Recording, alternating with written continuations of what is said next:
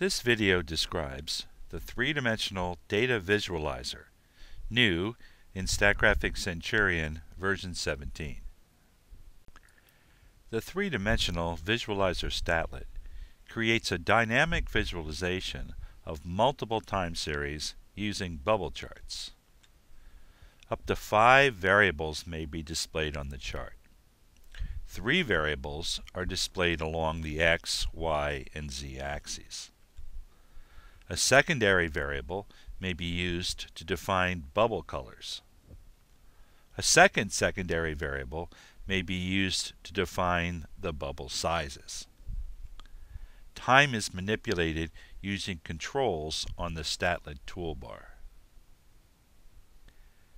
As an example, we'll look at economic and demographic data for 188 countries collected between 1961 and 2009. The data come from the World Bank. I've loaded the data into the StatGraphics datasheet. To create the visualizer, I'll go to Statlets, 3D Dynamic Visualizer. On the z-axis, I'm going to put total life expectancy. On the x-axis, I'm going to put fertility rate. That's the average number of children that each woman gives birth to. On the y-axis, I'll put infant mortality rate. I'm going to slice the data by year. I'm going to identify the bubbles using the country code. For the size of the bubbles, I'll use the rural population. That's the percent of the population that lives in rural rather than urban areas. And finally, for the color, I'll use region, which identifies the region of the world in which each country is located.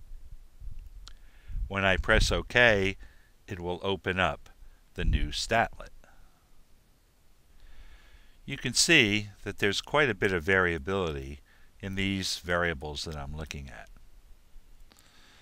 Notice that fertility ranges from a low of about two children per woman to a high of about eight children per woman.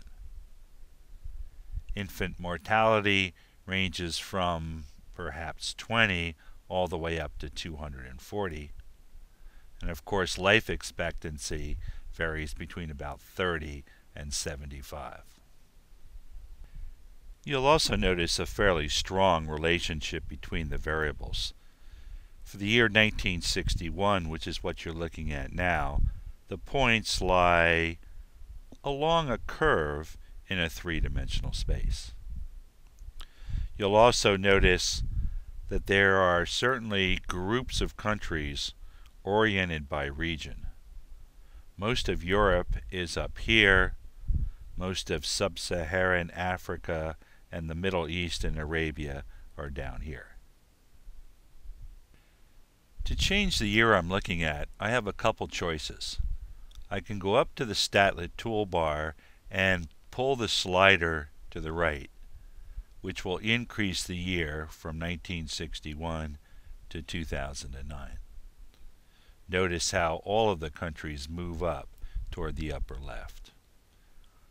I can also push the right arrow, which will cause time to step one year at a time.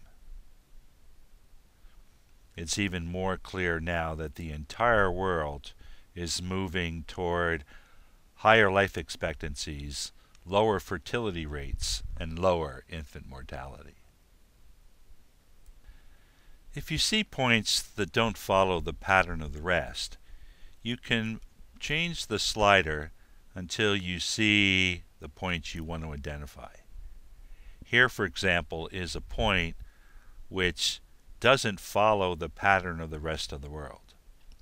If I click on it with my left mouse and then go to the data book, you'll see that that's Rwanda. I'll now go back to the 3D Dynamic Visualizer. I'll click the right mouse button and go to Analysis Options. And I'll ask it to label selected identifiers. I'll then go down until I find Rwanda and select it.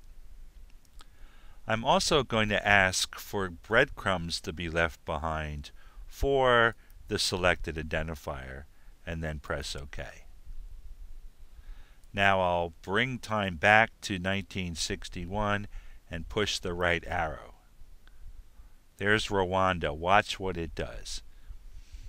It stays with the rest of the world for a while until about 1990 when it breaks with that pattern but eventually comes back and follows the rest of the world again. A couple other options are available. If I press the right mouse button and go to Analysis Options, I can ask it to smooth the data. That is, smooth each of the underlying time series before we plot it. That would keep the points from jumping around quite as much. We can also tell it how we'd like to handle missing values.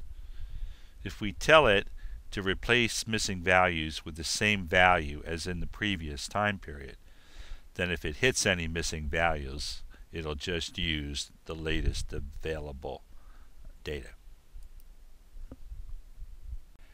There's one more thing I want to show you. I'm going to push my right mouse button and go to Analysis Options. I'll first turn off the breadcrumbs. I'll then go up to the Highlight field and ask it to highlight any large increases or decreases.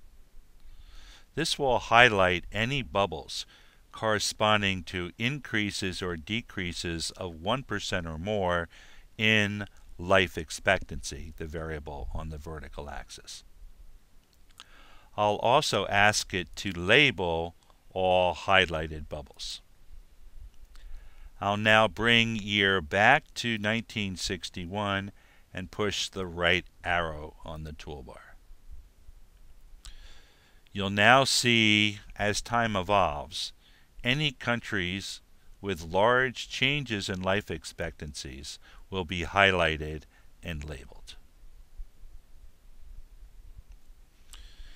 These types of dynamic visualizers let you see things you could never see in a static display.